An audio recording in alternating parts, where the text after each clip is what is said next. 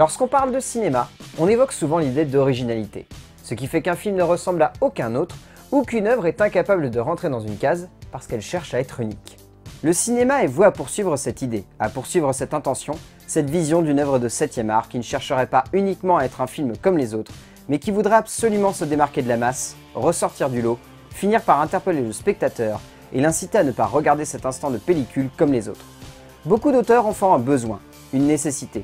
Cette idée que si leur film ne ressemble à aucun autre, il sera retenu, cité, imposé même comme un exemple de maîtrise et de conviction cinématographique qu'il serait impossible de contredire. C'est alors là que l'idée vient. Une envie, venant souvent d'un homme ou d'une femme, de créer quelque chose d'unique, au travers de la mise en place d'une base dramatique et cinématographique singulière.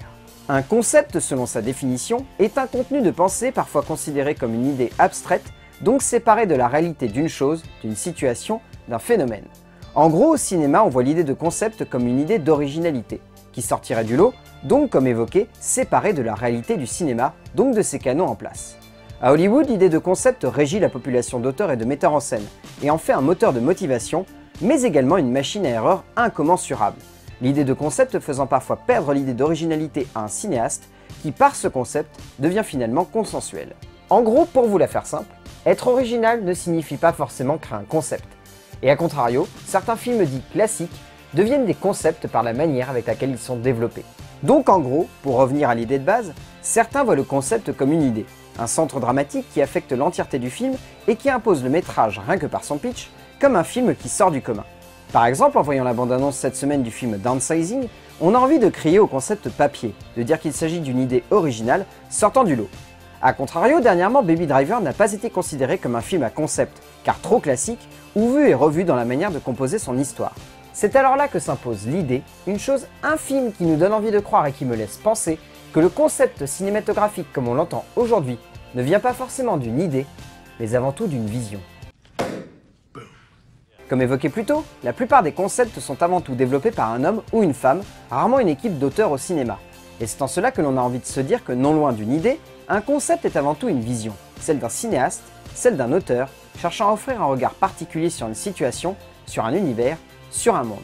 En cela, selon moi, Baby Driver ou Mother sont des films qui portent en eux une plus grande visualisation du concept qu'un film comme Get Out ou Seven Sisters, qui sont des films plus consensuels malgré leur certaine réussite. Est-ce que vous voyez où je veux en venir? Ce que j'essaie de vous faire comprendre, c'est qu'un concept doit avant tout être le fruit d'une réflexion autour du cinéma et de la reconception de celui-ci afin de lui apporter de la nouveauté.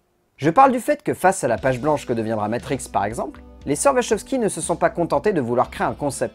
Elles ont d'abord pensé une histoire avec un héros classique, pour ensuite y greffer une réflexion personnelle autour de l'idée du monde pour imposer un concept par cela. George Lucas pour faire Star Wars n'a pas d'abord pensé à un concept, il a digéré des œuvres qui l'ont marqué, pour ensuite y greffer un univers qui lui était personnel, et donc y greffer sa vision du monde. L'auteur au centre de ce concept est la base de la vision qui rend ce concept unique. C'est avant tout parce qu'un homme ou une femme est passionné par un sujet qu'il arrive à en tirer une essence différente, et donc à créer un concept simplement par envie de parler d'un sujet qui le marque et le touche. Le cinéma est un art en constante mouvance, un art qui cherche à être neuf chaque jour.